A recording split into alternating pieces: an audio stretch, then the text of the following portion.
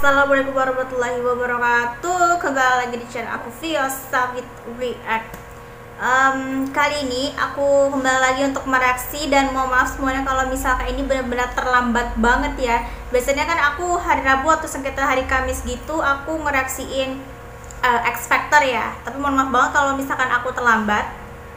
Eh bahkan Selasa, bahkan Selasa, Rabu, Kamis itu kadang aku jadwalnya expected yang ngereaksiin tapi mohon maaf sekali kalau ini benar-benar terlambat karena kemarin itu banyak banget ada yang harus diurus gitu ya. Jadi nggak bisa mm, eh, buru-buru buat ngereaksinya gitu. Jadi sekarang aku baru bisa ngereaksiin. Hari ini aku bakal ngereaksiin seperti biasa tiga kontestan uh, favorit aku yaitu adalah Danar, Alvin dan juga Second Chance. Dan di penampilan sebelum sebelum di penampilan yang lain sih aku udah pernah lihat ya. Aku udah lihat uh, itunya. Kecuali tiga penampilan ini karena memang bener-bener mau aku reaksi makanya belum aku reaksi sama sekali.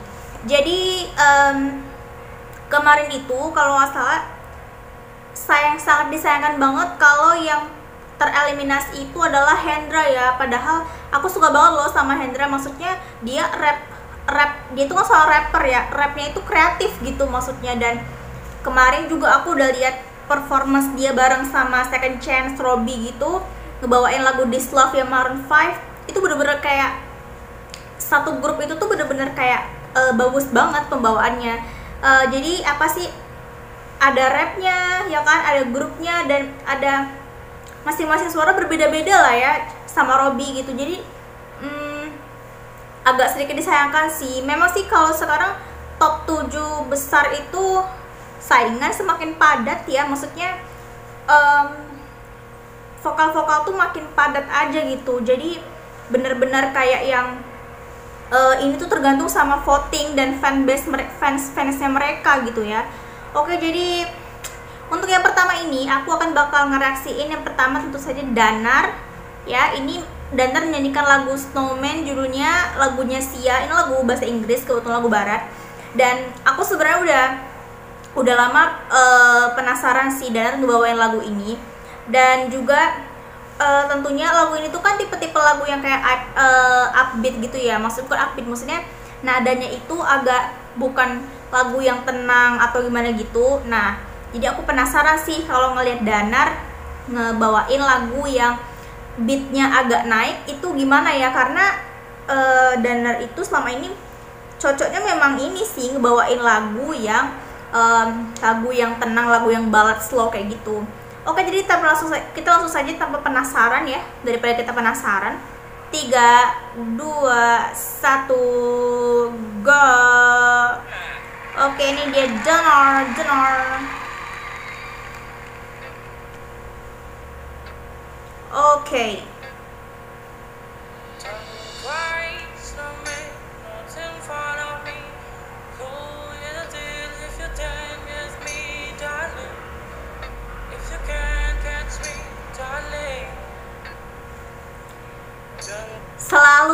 Menghipnotis selalu magic banget suaranya itu ya. Baru juga mulai padahal. Um, jujur sih aku agak khawatir karena ini lagunya agak beatnya agak naik gitu ya. Tapi sepertinya kayaknya nggak ada masalah sama Danar. Atau mungkin Danar memang bikin akan membuat lagu ini versi Danar sendiri ya. Karena seperti yang kita tahu sebelum-sebelumnya juga Danar kalau ngebawain lagu uh, mau barat maupun Indonesia itu pasti akan menghasilkan kayak lagu danar sendiri gitu. Dan yang kenapa kena itulah kenapa ciri khas uh, aku suka sama Alvin Danar juga Second Chance. Karena mereka itu membuat lagu or, lagu orang lain tersebut itu menjadi milik lagu mereka tersendiri dengan ciri khas mereka sendiri. Makanya aku suka banget sih sama mereka karena selalu ada penampilan yang baru yang baru terus ditampilkan sama mereka gitu ya. Oh.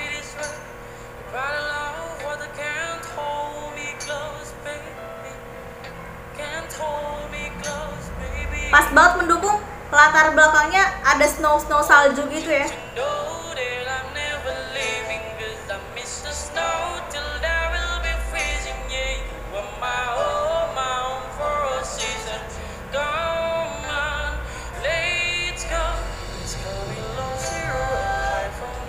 benar-benar dengan rasa yang berbeda banget sih rasa yang berbeda banget dari penyanyi aslinya dan juga di sini um, nggak tahu sih tapi kayaknya sih banyak improve ya Danar di sini kalau menurut aku ya banyak improve apalagi soal uh, pengucapan bahasa Inggrisnya kalau aku rasa ya oke okay.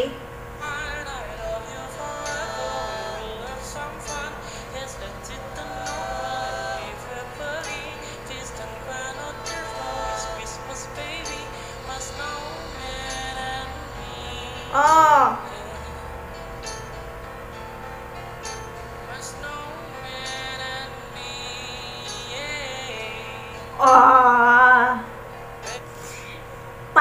Bagian begitu-begitu tuh candu banget sih. Yeah. Oh my god. Gak tau sih. Jadi bener-bener candu banget. Udah gak ngerti lagi. Udah sama Danar. Ampun.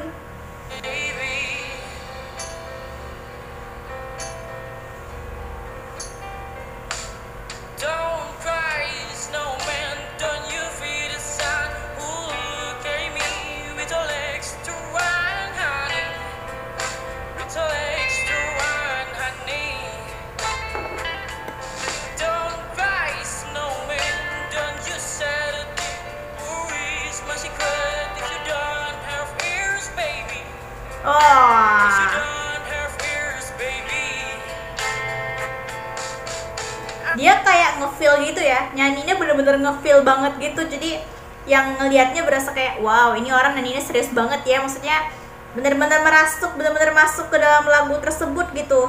Ya kalau nyanyi ya dan itu yang nggak lagunya deh sih lagu lain juga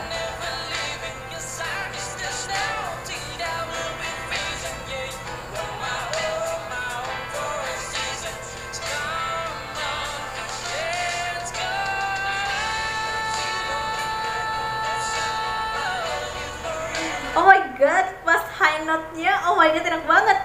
Dia tuh pas ngambil high note-nya oh gila sih. Nggak nyangka sih. Nggak nyangka dia bakal ngambil kayak gitu high note-nya pas di bagian itu oke okay, danar oke. Okay. waduh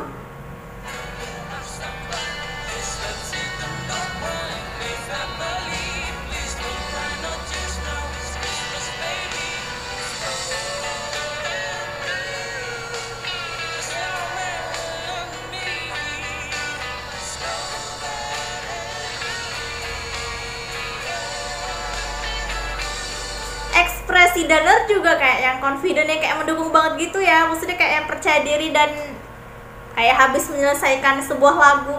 Emang sih ini lagu ini agak berat sih ya untuk Danar karena takutnya agak tertekan gitu nafas. Bukan tertekan maksudnya agak keteteran takutnya nafasnya buat Danar gitu. Karena selama ini kan Danar tuh sukanya ngebawain lagu-lagu yang slow gitu kan. Di mana kalau lagu yang slow gitu dia bisa ngatur pernafasan lebih bagus lebih lebih enak gitu.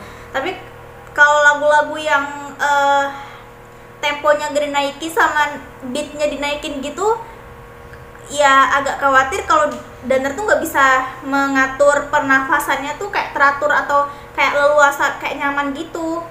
Tapi di sini mungkin dia membuktikan kalau dia bisa membawakan lagu yang beatnya uh, tinggi gitu ya yang yang uh, bukan balad atau slow kayak gitu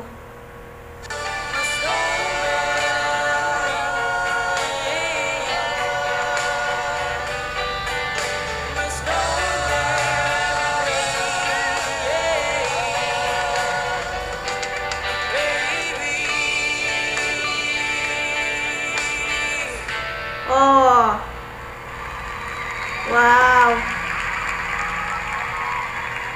Jadi sebenarnya dibilang sama Om Anang barusan ya, sebenarnya kayak ini bukan lagu yang tadi juga bilang sih, ini tuh bukan lagu tipe-tipenya Danar gitu kan. Tapi itu yang namanya challenge gitu, udah harus terima dan ya akhirnya sih Danar bisa menuntaskan ini sih dengan baik gitu ya maksudnya dan tentu saja buat fansnya nih ya jangan lupa nih vote Danar ya supaya nggak tersingkir tentunya gitu ya. Oke paling segitu aja sih. Jangan lupa tinggalkan jejak dengan like, comment, share, juga subscribe. Kalau misalkan teman-teman suka dengan reaksi aku terhadap uh, video ini. Dan kita akan lanjut untuk uh, Alvin ya selanjutnya. Jadi terima kasih. Assalamualaikum warahmatullahi wabarakatuh